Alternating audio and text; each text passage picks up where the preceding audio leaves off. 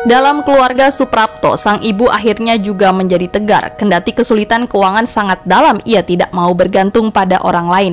Ia sangat tidak menyukai pertolongan dari orang lain. Ia tipe perempuan yang sangat mandiri dan independen. Untuk mempertahankan kelangsungan hidup keluarga, Ibu Suprapto menggulir bermacam-macam usaha,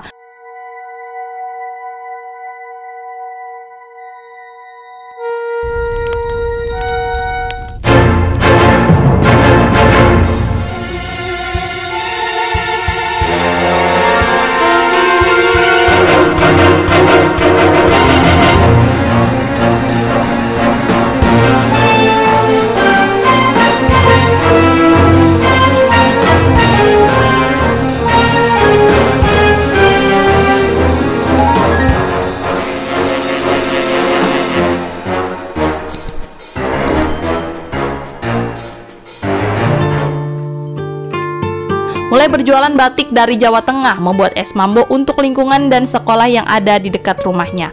Ia pun membuat kue-kue pesanan lebaran. Usaha anggrek baik menanam dan menjual bunga-bunganya ke toko bunga yang memesannya juga dilakukannya. Di tengah perjalanan yang mulai tertata itu timbul masalah yang berkaitan dengan tempat tinggal.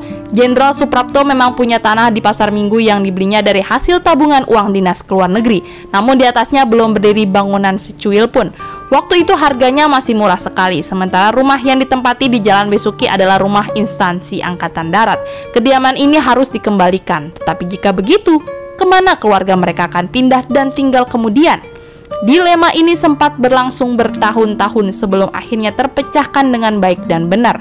Rumah di Jalan Besuki diserahkan oleh pemerintah kepada Ibu Suprapto. Kemurahan hati pemerintah ini memanjang ke urusan SPP dan kesehatan sampai batas umur anak-anak dewasa. Mayoritas anak-anak Jenderal Suprapto bebas SPP jika belajar di sekolah-sekolah negeri.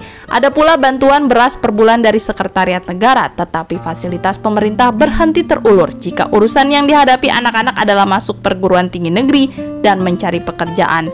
Dalam kedua persoalan ini mereka harus berjuang sendiri, bahkan di antara mereka ada yang kuliah sambil bekerja.